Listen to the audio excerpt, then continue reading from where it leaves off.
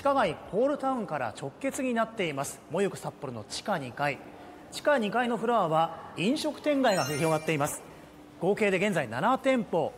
それぞれのお店にドアがなく仕切りがないので非常に入りやすいですね。こちらは丸山エリアの生パスタ専門店。レバーロが手掛けるバルスタイルのお店です。北海道産やイタリア産など42種類のワインが揃いそれに合わせた330円からの手ごろな小皿料理を楽しめます。少しずつ小盛りの商品がいろいろいただけるっていうのは嬉しいですね。うん。昆布締めのお魚にちょっとわさび醤油が効いてて非常に美味しいです。ちらのお店はあの丸山のシェフのお味をあの小皿で低価格で提供させていただいて毎日通いたくなるバルというコンセプトでやらせていただいております。ちょうど駅から直結なので会社帰りにあのちょっと飲みたいなという時気軽に楽しんでいただけると思います。打ちたての道産そばと日本酒を楽しめるそば前。おすすめはたぬき工事の冷やしたぬきそばです。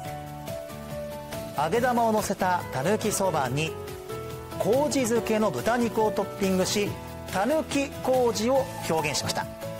席はおよそ90席と地下2階では最も広く家族連れでも楽しめそうです。こちらは道産牛が楽しめるニューミート。食べ応え抜群のサーロインをレモンバターであっさりと。店名の由来は？乳牛の乳です。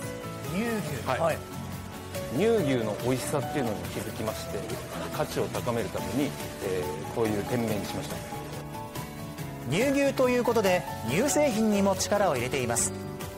大樹町の坂根牧場さんっていうところすっごく牛乳が美味しくてあの飲んだ瞬間に絶対お店で使いたいなと思ったので、まあ、そのまま飲む牛乳もありますしソフトクリームの中に混ぜてあのすごく濃厚なソフトクリームを作っております。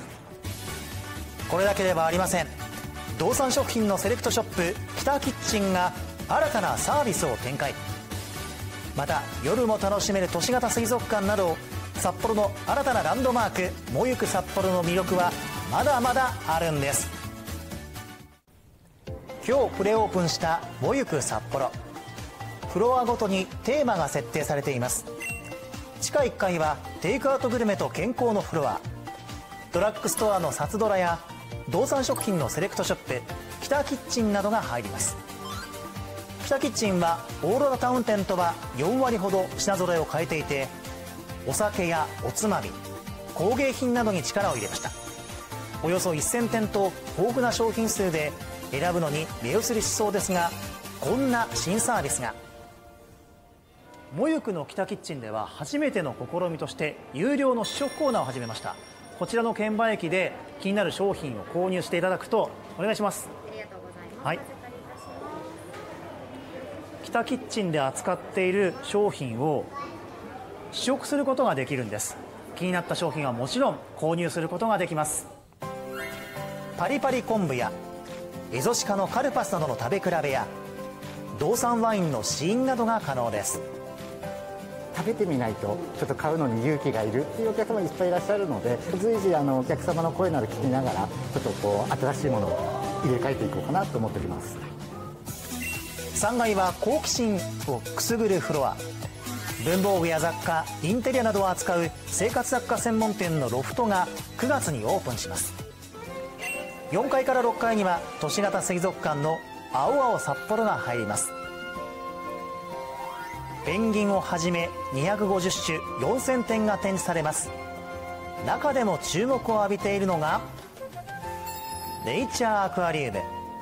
水かさが生い茂る水槽の中で小さな生き物たちの営みを自然のありのままの姿で観察することができ4つの異なるテーマが展示されています。